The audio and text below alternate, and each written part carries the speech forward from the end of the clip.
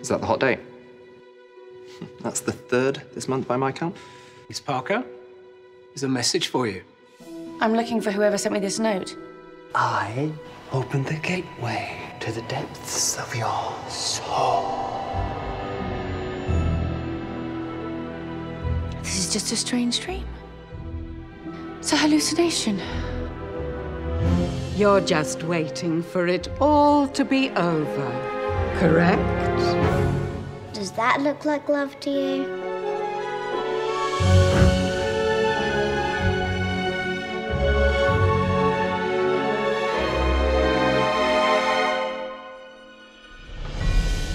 You will find what you're looking for, darling.